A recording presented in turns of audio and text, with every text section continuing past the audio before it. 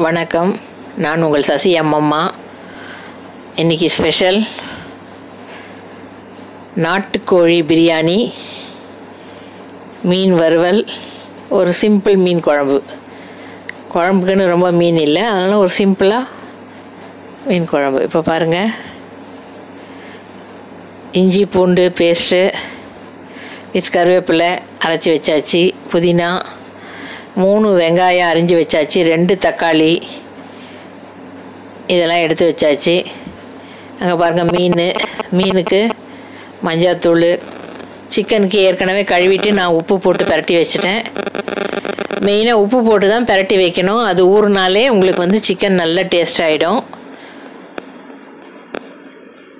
மீனுக்கு வந்து குழம்பு மிளகாத்தூள் தான் நான் எப்போவுமே போடுவேன். வீட்டில் அரைச்சி வச்ச மிளகாத்தூள் அதை போட்டாச்சு.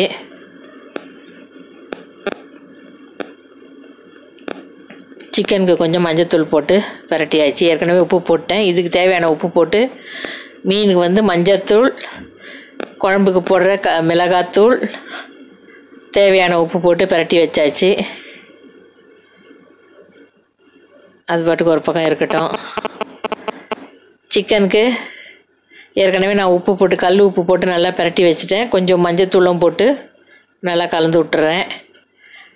அது இருக்கட்டும். இப்போ வந்து குக்கர் வச்சுட்டு அதுக்கு ஒரு தேவையான அளவு நான் வந்து இன்றைக்கி ஒரு ரெண்டரைலேருந்து மூணு அழகு தான் போட போகிறேன் சிக்கன் வந்து ஒரு நைன் ஹண்ட்ரட் கிராம்ஸ் கிட்ட அப்படி இருக்குது ஏன்னா நாட்டுக்கோழி வந்து முழுசாக வாங்கி உரித்து எடை போடும்போது ரொம்ப குறைஞ்சிரும் வெயிட்டு ஒரு செ எயிட் ஹண்ட்ரட் அப்படி இருக்கும் எயிட் ஹண்ட்ரட் கிராம்ஸ் அப்படி இருக்கும். இப்போ எண்ணெய் அதனால் அதுக்கு தேவையான அளவு ஒரு ரெண்டரை அழகு அளவுக்கு அரிசிக்கு தேவையான அளவு எண்ணெய் ஊற்றிக்கிட்டேன் ஒரு நூறுலேருந்து நூற்றி ஐம்பது கிராம் எண்ணெய் இருக்கும். வெறும் கடலை எண்ணெய் தான் வேறு எதுவும் நான் ஊற்ற போகிறதில்ல இதுலேயே செஞ்சு காட்டுறேன் பாருங்கள் ரொம்ப டேஸ்ட்டாக நல்லாயிருக்கும் இந்த மாதிரி சுலபமாக ஈஸியாக செய்கிறது எப்படின்னு பார்க்குறதுக்கு தொடர்ந்து என்னோடய சேனலை பாருங்கள் சப்ஸ்கிரைப் பண்ணுங்கள் அப்போ தான் உங்களுக்கு நிறைய வீடியோஸ் வந்துக்கிட்டே இருக்கும். இப்போ பாருங்கள் இதுக்கு அரைக்கிறதுக்கு பச்சை மிளகா ஒரு நாலு. ஏன்னா நான் கொஞ்சம் சூப் எடுக்க போகிறேன் அதனால் நாலு பச்சை மிளகா தான் போட்டிருக்கேன். ஒரு கைப்பிடி அளவு புதினா போட்டு அது கொத்தமல்லி போட்டு அதை அரைச்சிக்கணும் தனியாக இப்போ இந்த எண்ணெயில் வெங்காயத்தை போட்டுடுறோம் வெங்காயம் போட்டு நல்லா வதங்கினதும் அது கூட இஞ்சி பூண்டு கருவேப்பிலை. இஞ்சி பூண்டு கருவேப்பிலை மூணும் ஒன்றா அரைச்சிக்கணும். ஏன்னா கருவேப்பிலையும் வந்து இஞ்சி பூண்டு பேஸ்ட் அளவுக்கு வதங்கணும். நிறைய. ஆனால் புதினா பச்சை மிளகா கொத்தமல்லி ரொம்ப வதங்க வேண்டாம். அதனால் அதை தனியாக இதை தனியாக அரைச்சிக்கோங்க. புதினா பச்சை மிளகா கொத்தமல்லி தனியாகவும் இஞ்சி பூண்டு கருவேப்பிலை. இஞ்சி பூண்டு கருவேப்பிலை அதை தனியாக பேஸ்ட்டாக அரைச்சிக்கோங்க. இப்போ வெங்காயம் வதங்கிருச்சு. ஸோ இப்போ நான் வந்து அந்த இஞ்சி பூண்டு பேஸ்ட்டு கலவையை இஞ்சி பூண்டு கருவேப்பிலை பேஸ்ட்டு கலவையை ஊற்றிட்டேன் நாட்டுக்கோழிங்கிறதுனால ரொம்ப பச்சை வாசனை போகிற அளவுக்கு வதக்கணும்னு அவசியம் இல்லை. ஏன்னா நாட்டுக்கோழி வேக கொஞ்சம் லேட் ஆகும். நாலஞ்சு விசில் விடணும். அதனால் ஓரளவுக்கு வதங்கலாம். ஓரளவுக்கு பச்சை வாசனை போகிற அளவுக்கு வதக்கிக்கோங்க.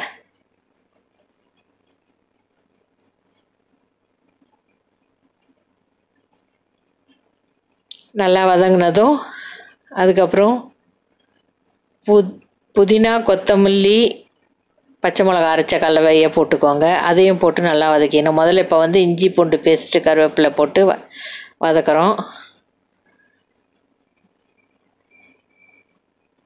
ரொம்ப சுலபமாக ஈஸியாக செஞ்சிடலாம். பொதுவாக வந்து நாட்டுக்கோழிங்கிறது வந்து நிறைய பேருக்கு பிடிக்க மாட்டேங்குது. ரொம்ப சக்கச்சக்கையாக இருக்குதுங்கிறாங்க. ஆனால் இந்த மாதிரி செஞ்சு பாருங்கள் நல்லா சாஃப்டாக நல்ல டேஸ்ட்டாக வரும் பிரியாணி. கொஞ்சம் பிஞ்சு கோழியாக வாங்கணும் அவ்வளோதான் ரொம்ப ஒரு கிலோவுக்கு மேலே வெயிட் இருக்கிற கோழி வாங்கக்கூடாது. இது பாருங்கள் இப்போ நான் புதினா கொத்தமல்லி பச்சை மிளகா போட்ட பேஸ்ட்டை அதில் போட்டுறேன். அதுவும் போட்டு கொஞ்சம் நேரம் வதங்கட்டும்.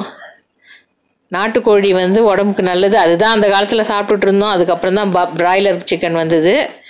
நாட்டுக்கோழி வந்து ஒரு கிலோ அல்லது ஒன்றே கால் கிலோக்குள்ளே இருக்கிற மாதிரி சின்ன கோழியாக பார்த்து வாங்குனீங்கன்னா அப்போ வந்து உங்களுக்கு அந்த சதெல்லாம் ரொம்ப சாஃப்டாக நல்லாயிருக்கும். அதை உ உரித்து நீங்கள் க்ளீன் பண்ணி எடுத்தால் ஒரு eight hundred to nine hundred grams தான் வரும். நான் சூப் எடுக்கிறேங்கிறதுனால தக்காளியும் நல்லா பேஸ்ட்டாக அரைச்சி ஊற்றிட்டேன் அதுலேயே. கொஞ்சமாக தான் சூப் எடுக்க போகிறேன் அதனால் அப்படி ஒன்றும் அதோட டேஸ்ட்டு பிரியாணி டேஸ்ட்டு குறைஞ்சிடாது. கொஞ்சமாக ஒரு ஒரு டம்ளர் அளவுக்கு சூப் அதுலேருந்து எடுத்துக்க போகிறேன் நான். இப்போ தக்காளி வெங்காயம் இஞ்சி பூண்டு கருவேப்பிலை பேஸ்ட்டு அதுக்கப்புறம் புதினா கொத்தமல்லி பச்சை மிளகா பேஸ்ட்டு எல்லாத்தையும் போட்டு கூடவே மஞ்சள் தூள் போட்டு இப்போ மஞ்சள் தூள் போட்டேன் கொஞ்ச நேரத்துக்கு முன்னாடி எல்லாத்தையும் நல்லா வதக்கிக்கணும். கொஞ்சம் ஒரு முக்கால் பாகம் வதங்கினா போதும். ஏன்னா சிக்கன் போடும்போது அது நல்லா வேகணுங்கிறதுனால ஒரு நாலு விசில் அஞ்சு விசில் விட வேண்டியிருக்கும். அதனால் ஓரளவுக்கு வதக்கிக்கோங்க போதும்.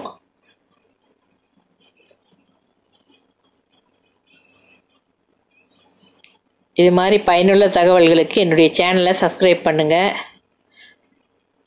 கமெண்ட் பண்ணுங்கள் எல்லா ப்ரோக்ராம்ஸையும் தவறாமல் பாருங்கள் இதே மாதிரி செஞ்சு பார்த்தீங்கன்னா ரொம்ப சுலபமாக ஈஸியாக சமையல் செஞ்சிடலாம். இன்றைக்கி பாருங்கள் நான் வந்து ஜீரக சம்பா அரிசியில் தான் பிரியாணி பண்ண போகிறேன் அதனால் அதுதான் எடுக்க போகிறேன்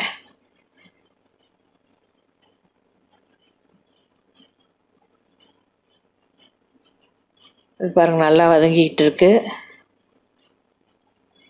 ஸ்லோவில் வச்சு வதக்கிறதுனால.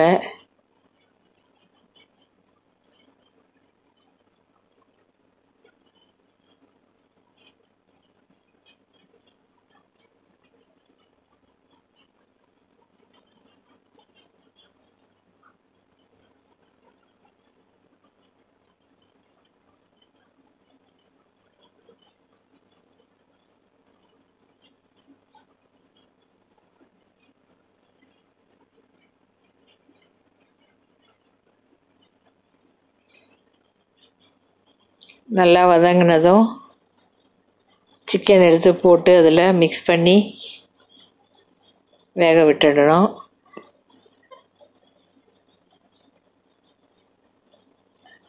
பாருங்கள் மசாலாத்தூள் போடுறேன் ஒரு ஸ்பூன் ஒரு அழகுக்கு ஒரு ஸ்பூனுங்கிற அளவு மசாலாத்தூள் நான் ஏற்கனவே சொல்லியிருக்கேன். ஒரு அழகுக்கு அஞ்சு இன்ச்சு பட்டை அஞ்சு கிராம்பு அஞ்சு ஏலக்காய் வச்சு பவுடர் பண்ணிக்கணுன்ட்டு நான் ஏற்கனவே அது நிறைய போட்டு பவுடர் பண்ணி வச்சுக்குவேன். வச்சுக்கிட்டு இந்த மாதிரி ஸ்பூனில் ஒரு ஸ்பூன் கணக்கு ஒரு அழகுக்கு. அது மாதிரி போட்டு நீங்கள் நல்லா மிக்ஸ் பண்ணிக்கணும். இதுவே போதும். வேறு எந்த இதுவும் போட மாட்டோம் இதுதான் திண்டு திண்டுக்கல் டைப் பிரியாணி. ரொம்ப நல்லாயிருக்கும் இப்போ சிக்கனை போட்டாச்சு. நல்லா வத கலந்து விட்டுட்டு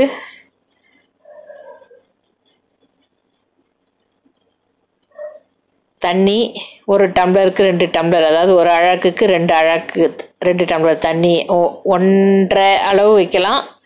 மொத்தத்தில் ஒரு அரை டம்ளர் குறைச்சிக்கலாம். ஏன்னா நான் கொஞ்சம் சூப் எடுக்கிறதுனால ரெண்டு டம்ளர் ரெண்டு டம்ளர் அளவுலேயே வச்சுருக்கேன்.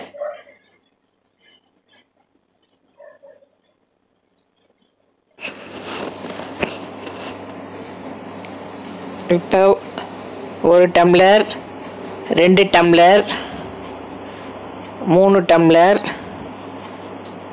நாலு டம்ளர் நாலாவது டம்ளர் தண்ணி எடுக்க போயிருக்கேன்.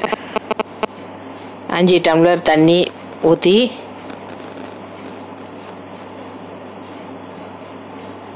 நல்லா கலந்து விட்டுட்டு குக்கரை மூடி வச்சுட்டு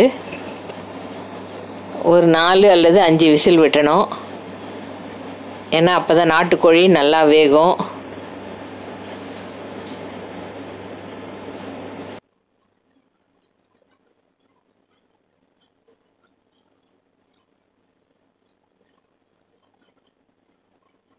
இப்போ ஒரு டம்ளர் ரெண்டு டம்ளர் மூணு டம்ளர். இப்போ நான் பா ஜீரக சம்பா அரிசி எடுக்கிறேன். இது பாருங்கள் அளந்து எடுக்கிறேன். ஒரு அழாக்கு ரெண்டு அழாக்கு. ரெண்டரைக்கு கொஞ்சம் அதிகமாக ஏற்கனவே கொஞ்சம் நிறைய நிறைய போட்டுட்டதுனால கிட்டத்தட்ட அது மூணு அழகு அளவுக்கு வந்துடும் ரெண்டரை ரெண்டே முக்கால் அளவுக்கு வரா மாதிரி போட்டுக்கிட்டேன். போட்டு அதை கழுவி தண்ணியில் ஊற வச்சு வச்சுட்டேன். அது ஒரு பக்கம் சிக்கன் வேகிறதுக்குள்ளே அது நல்லா ஊறிடும். அதுவே போதுமான அளவு. இப்போ வந்து குக்கரில் நம்ம தண்ணி ஊற்றி மூடி வச்சிட்டோம். நல்லா சிக்கன் வேகட்டும். அதுக்கப்புறம் அதை பார்க்கலாம். இப்போ வந்து மீன் பொரிக்கிறத பற்றி பார்ப்போம் கடாயில் எண்ணெய் ஊற்றி மீன் போட்டுட்டேன். இது வந்து சீலா மீன். இது பாருங்கள் பொரிஞ்சிக்கிட்டு இருக்கு. மஞ்சத்தூள் உப்பு குழம்பு மிளகாத்தூள் போட்டு பிரட்டினாலே போதும். நல்லா கிறிஸ்பியாக தான் வரும். ரொம்ப நல்லாயிருக்கும் அது பாருங்கள் எவ்வளோ அழகாக நல்லா பொரிஞ்சு வருது பாருங்கள்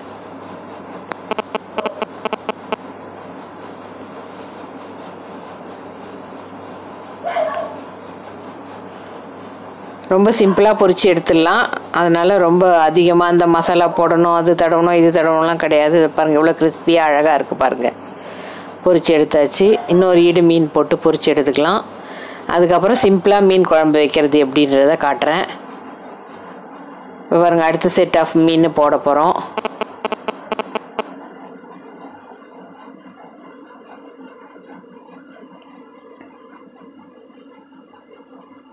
இப்படி ஈஸியாக பொரித்து எடுத்துடலாம். மாவு கீவு எதுவும் போட தேவையில்லை. வெறும் மஞ்சாத்தூள் குழம்பு மிளகாய்த்தூள் அவ்வளோதான் அதையும் போட்டு பொரித்து எடுத்தாச்சு. உப்பு மஞ்சாத்தூள் குழம்பு மிளகாய்த்தூள் உப்பு இது மூணு மட்டும் போட்டால் போதும். நல்லா கிறிஸ்பியாக பொரிஞ்சு வரும். இப்போ பாருங்கள் குக்கர் நாலு விசில் தான் விட்டேன் நல்லா வெந்துடுச்சு வெந்த வாசனை வந்ததுனால அதோட ஆஃப் பண்ணிட்டேன். இன்னும் ப்ரெஷர் ரிலீஸ் ஆகலை. மீனை பொறிச்சிட்டு அங்கே பார்க்கலாம் ரெண்டாவது இடி மீனும் பொரிச்சாச்சு. இப்போ வந்து குழம்பு வைக்கிறதுக்காக வச்சுருந்த அந்த பிட் ரெண்டுத்தையும் சும்மா ஒரு தடவை எண்ணெயில் போட்டு ஒரு பெரட்டு பெரட்டிக்கிட்டு அதுக்கப்புறம் அந்த எண்ணெயில்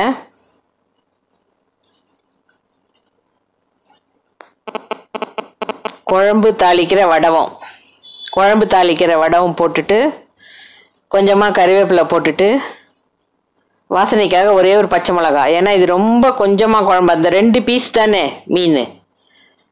அதுக்கு ரொம்ப ஒரு கரண்டி அல்லது ரெண்டு கரண்டி குழம்பு தான். அதுக்கு வந்து நிறைய இது போட வேண்டியதில்லை. இந்த மாதிரி பண்ணாலும் நல்லா தான் இருக்கும். இதை பாருங்கள் ஒரே ஒரு பச்சை மிளகா. கீரி அதையும் போட்டாச்சு. நல்லா வதக்கிட்டு எண்ணெய் நல்லா சூடாக இருக்கிறதுனால அடுப்பை ஆஃப் பண்ணிவிட்டு அதில் மஞ்சாத்தூள் குழம்பு மிளகாய்த்தூள் போட்டு நல்லா வதக்கிக்கணும். அந்த எண்ணெயிலேயே அந்த மிளகாத்தூள் வந்து நல்லா வெந்துடணும் அதை பாருங்கள் ஒரு ஒரு முக்கால் ஸ்பூன் தான் போட்டேன். போதும் அதுவே போதுமானது. நான் ரொம்ப கொஞ்சமாக தான் குழம்பு வைக்க போகிறேன் அது ஒரு இன்ஸ்டன்ட் குழம்பு மாதிரி ஈஸியாக இருக்கும் தெரிஞ்சுக்கோங்க. இப்படியே மீன் குழம்பு வைக்கலாம். இதுவும் நல்லா டேஸ்ட்டாக தான் இருக்கும். நல்லா ஓரளவுக்கு அந்த எண்ணெயிலே வதங்கின பிற்பாடு புளி மட்டும் கரைச்சி ஊற்றிக்கணும் தேவையான அளவு புளி கரைச்சி ஊற்றிக்கின்னு உப்பு போட்டு கொதிக்க வச்சா மீன் குழம்பு ரெடி பாருங்கள் இதுக்கப்புறம் தான் நான் அடுப்பையே ஆன் பண்ண போகிறேன் தாளித்த உடனே அடுப்பை ஆஃப் பண்ணிட்டேன். மிளகாத்தூள்லாம் போட்டு நல்லா வதக்கிட்டு புளி ஊற்றுனதுக்கப்புறம் இப்போ அடுப்பை ஆன் பண்ணி விட்டுட்டு கொதிக்க விட்டுறலாம். ஒரு கொதி வந்ததும் அதில் மீனை போட்டு மீன் போட்ட பிறகு ஒரு கொதி வந்ததும் ஆஃப் பண்ணிடணும். அவ்வளோதான் ஒரு ஃபைவ் மினிட்ஸில் குழம்பு ரெடி ஆகிடும் அவ்வளோதான் அது. அதுக்கு தேவையான அளவு உப்பு போட்டுக்கிட்டேன். குழம்புக்கு தேவையான அளவு உப்பு.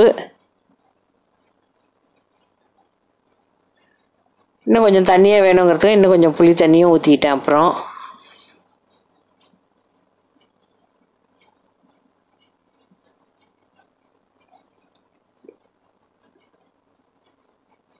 ஓரளவுக்கு கொதிச்சுதுன்னா நல்லா சுண்டி வந்துடும் ஓரளவுக்கு. அவ்வளோதான் மீன் குழம்பு ஒரு பக்கம் கொதிச்சிட்ருக்கு இங்கே வந்து நல்லா ப்ரெஷர் இறங்கி ரெடி ஆகிடுச்சு சிக்கனு ஸோ இப்போ குக்கரை திறந்து சிக்கன் சூப்புக்கு கொஞ்சம் எடுத்துக்க போகிறோம்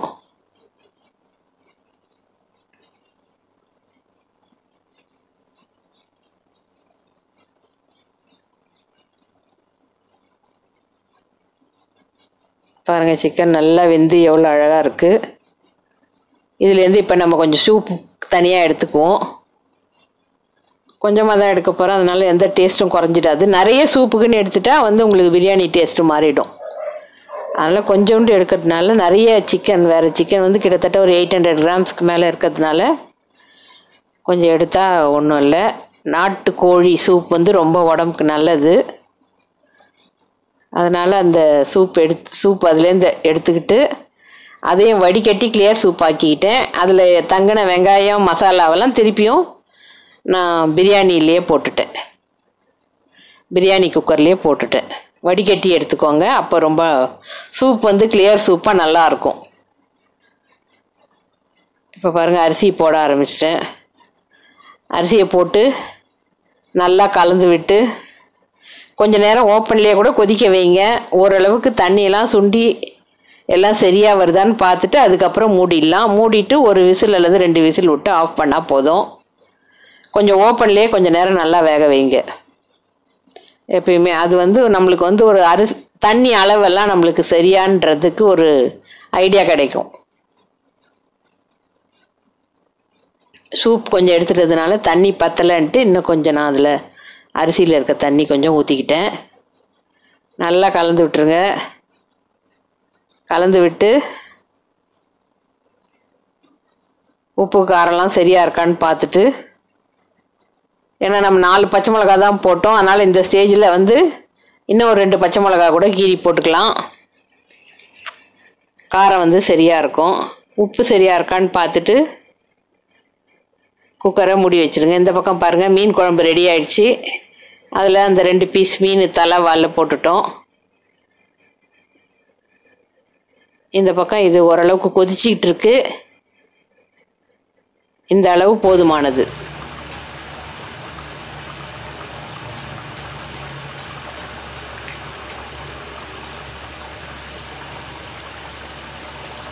இப்போ பாருங்கள் சிக்கன் சூப் வடிகட்டிட்டு அந்த கிரேவியை அதில் ஊற்றிட்டேன் சூப்பை தனியாக கிளியர் சூப்பாக எடுத்து வச்சுக்கிட்டேன். இனிமேல் குக்கர் மூடி வச்சு ஒரு ரெண்டு விசில் விட்டு ஆஃப் பண்ணிவிட்டு அப்புறமா பார்க்கலாம். இந்த பக்கம் பாருங்கள் ஒரு பக்கம் மீன் குழம்பு நல்லா ரெடி ஆயிடுச்சு. இந்த பக்கம் குக்கர் மூடி வச்சு ரெண்டு விசில் விட்டு ஆஃப் பண்ண பிறகு பிரியாணி ரெடி ஆயிடுச்சு. மீன் குழம்பு பிரியாணி சூப் மீன் வறுவல் ரெடி